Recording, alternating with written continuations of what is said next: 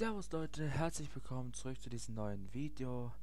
Es, dieses Video wird ein Meinungsvideo und ähm, ja, warum ich gerade so ne, klinge, ist ähm, äh, offen gesagt, das hier ist der zweite Take dieses Videos. Es ist das Meinungsvideo von ähm, von der Annalena Müller. Deine Meinung zu Wohnungen versus Haus. Und ganz im Ernst, ich habe so eine riesen Sache da eigentlich gemacht. Nee, wirklich, ich habe, ich, ich, ich sag's mal kurz direkt, was, bei, was ich beim, beim, beim anderen Video habe ich sogar eine Präsentation gemacht.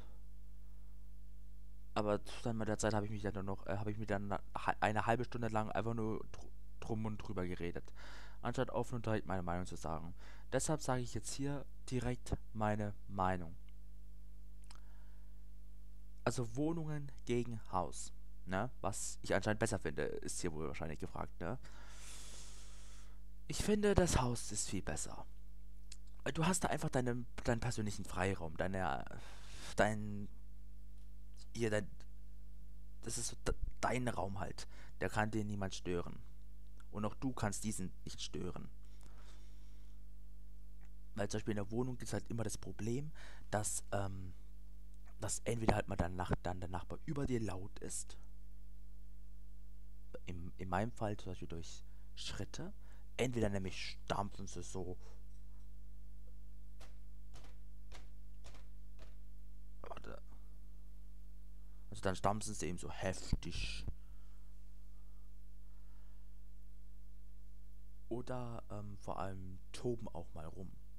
Also ein 16 Jahre alter äh, alter Junge, der rumtobt wie ein kleines fünfjähriges Kind.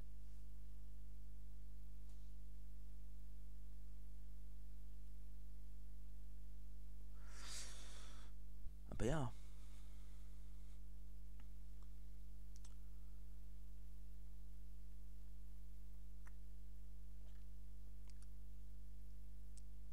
Das Ding ist halt nur,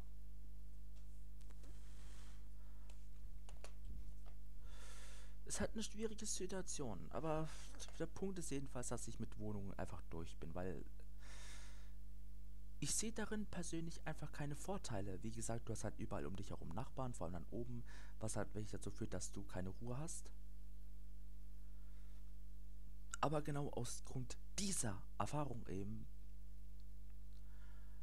selbst ich, also wirklich so, du auf Zwang versuchst, ruhig zu sein, dass dass, dass sich die nicht mal beschweren. Okay, und ich meine, ich, ich bin nicht unbedingt laut. Unbedingt.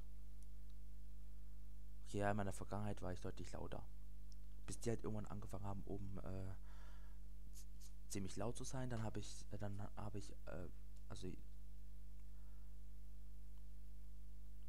dann seitdem versuche ich es auch auf Zwang, um ein besseres Vorbild als sie zu sein, um äh, richtig leise zu sein.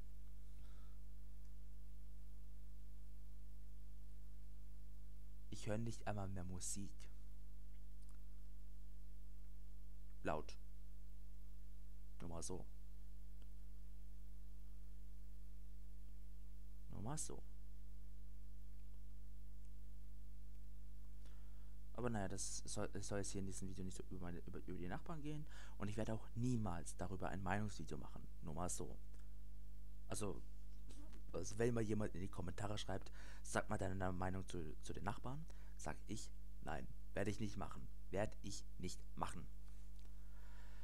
Deshalb zurück, also zurück zum Thema, das, äh, das habe ich mich gerade wieder fast drum drum geredet das Ding ist vor allem, dass ich zum Beispiel auch im Sommer möchte ich zum Beispiel gerne einfach zum Beispiel auf dem Liegestuhl sitzen, äh, mich da schön sonnen, weil ich das eigentlich müsste. Ich bin viel zu äh, bleich. Da gab es mal Zeiten, äh, vor allem in den letzten Jahren, da bin ich aus hier, hier aus, äh, da haben die Leute zu mir gesagt, bist du ein Vampir? Du bist so, du bist so bleich. Ich war, ja klar, warum? Weil zum Beispiel im im Sommer, wenn es halt die ganze Zeit die Sonne scheint, da gehe ich nicht unbedingt raus, weil halt, weil die Luft hier so einfach stickig ist draußen. Naja, hier sind kaum Bäume oder Pflanzen und so. Und ja. Und und ich beneide dann immer diese, auch diese, diese ganzen Leute, wenn man das sieht, wenn man so, zum Beispiel auf, auf Insta scrollt oder auf TikTok, was auch immer, und man dann die Leute sieht, die, die hinten von dem Haus im Garten, im Pool dann chillen. Da wird man so, da wird man so neidisch. Aller kurze Reiner gemacht. Ähm, ja, und sonst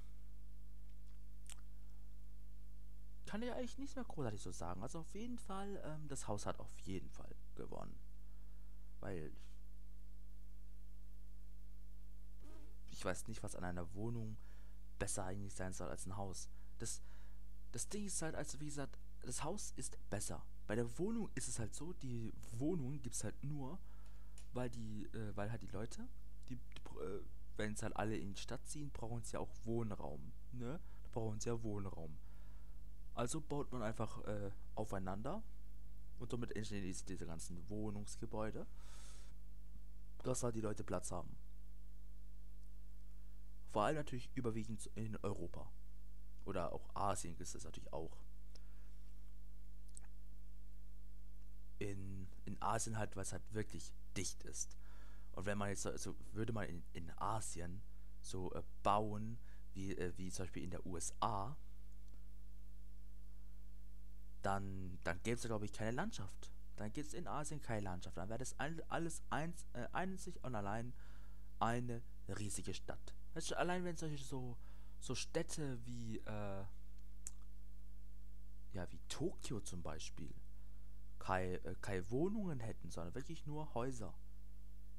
Ich glaube, dann wäre Tokio so groß, einfach wie ganz Japan, denke ich, denke ich.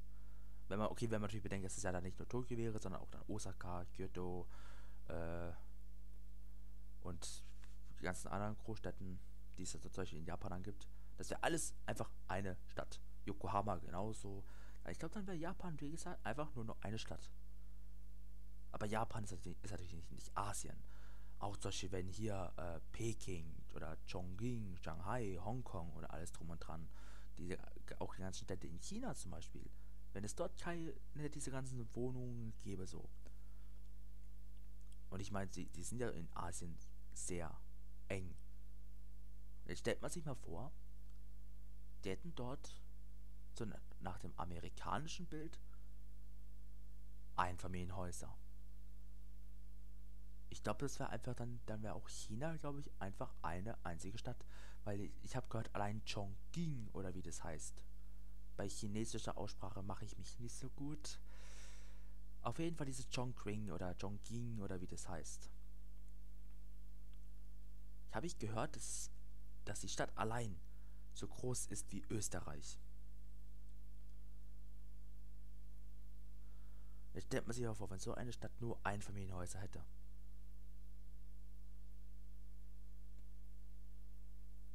Äh, das, das wäre riesig. Riesig.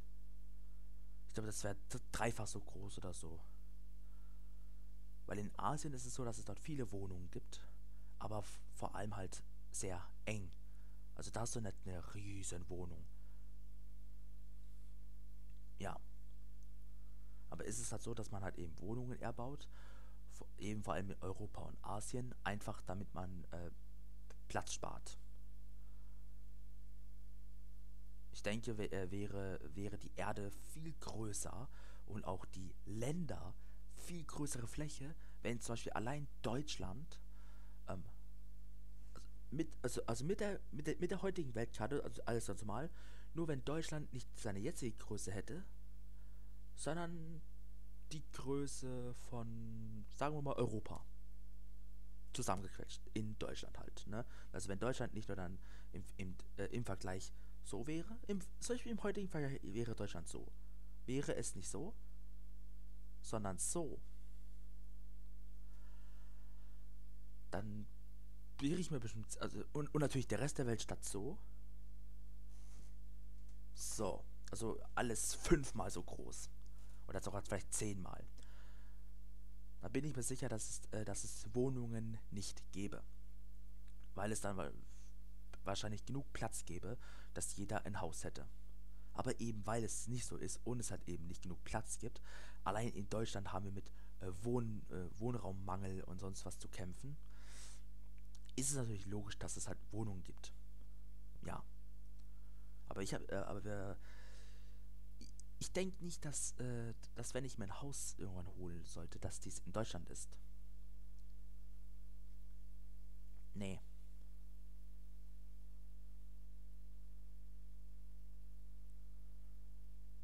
Aber das wird ein anderes, das wird wahrscheinlich ein anderes Video, obwohl was heißt anderes. Ich habe schon oft wahrscheinlich genug Videos darüber gemacht.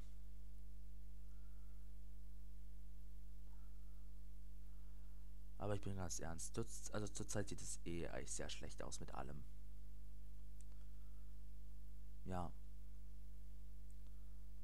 So kann halt auch sein, dass ich halt dann doch irgendwann, auch trotz meiner ganzen Pläne und so, doch, doch dann nur wieder in der, in, in der beschissenen Wohnung am Mitte lande.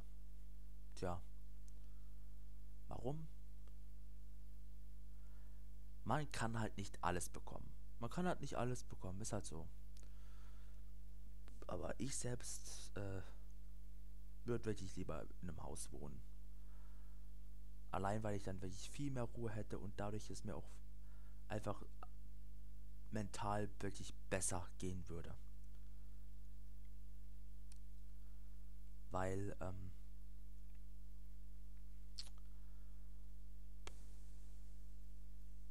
das, das sind wieder aber alles solche Punkte, die ich irgendwann später mal erzähle die ich wirklich irgendwann alles später mal erzähle, wenn es vorbei ist. Und es. Auf jeden Fall, ich hoffe, dass ich das Video gut gemacht habe und meine Meinung direkt gesagt habe. So, also, ich finde Haus besser als Wohnung, ne? Haus gewinnt. Haus gewinnt. Haus, du hast viel mehr Platz für dich selber. Du hast mit deiner eigenen Ruhe. Und in der Wohnung hast du das nicht. Du hast dort wenig Platz. Du hast keine Ruhe.